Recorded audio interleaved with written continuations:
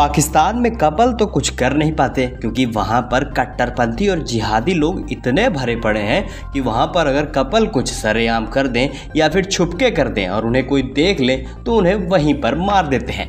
तो कपल ने सोचा, हम कहीं बाहर कुछ नहीं कर पाते, रूम में नहीं कर पाते। चलो, विमान को चुना जाए। जी हाँ पाकिस्तान विमान में यात्री कुछ ऐसा करने लगा, जिसके बाद यात्री तो शॉक्ड हो गए। साथ में एयर होस्टेस और विमान के जितने भी क्रू मेंबर थे, वो भी हैरान रह गए।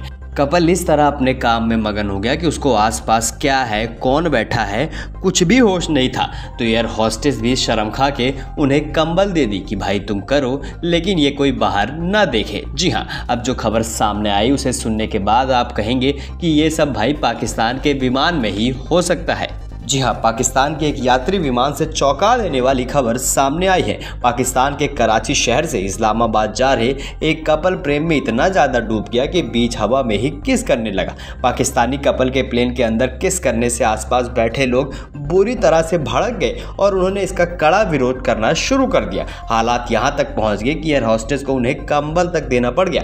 पाकिस्तानी अखबार एक्सप्रेस ट्रिब्यून के मुताबिक, बीस मई को एयरव्यू कंपनी के पी ए दो उड़ान में ये शर्मनाक घटना हुई है।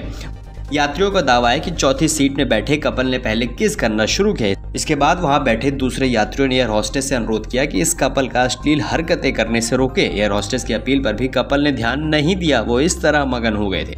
इसके बाद एयर हॉस्टेस ने थक हार कर इस कपल को एक कंबल दे दिया ताकि वो इसके अंदर अपनी अश्लीलता करें। यात्रियों ने बताया कि उन्होंने भी इस कपल को रोकने का प्रयास किया, लेकिन वो दोनों भड़क उठे। कपल ने कहा, आप कौन होते हैं? हमें बताने वाले। इस प्लेन में सवार वकील बिलाल फारूक आलवी ने कहा कि उन्होंने सिविल एविएशन अथॉरिटी के पास शिकायत दर्ज कराई है। उन्होंने कहा है कि एयरलाइन में इस कपल को रोकने के लिए कोई कार्रवाई नहीं की। मामले की जाँच शुरू हो गई। इस घटना से पाकिस्तान सोशल मीडिया में काफ़ी गुस्सा देखा जा रहा है और लोग पाकिस्तान की जमकर किरकिरी उड़ा रहे हैं कि भाई पाकिस्तान में ही ऐसा हो सकता है। अब आप क्या राय इस वीडियो को लेकर हमें कमेंट सेक्शन में कमेंट करके ज़रूर बताइए। मैं अमन यादव वीके न्यूज़ दिल्ली।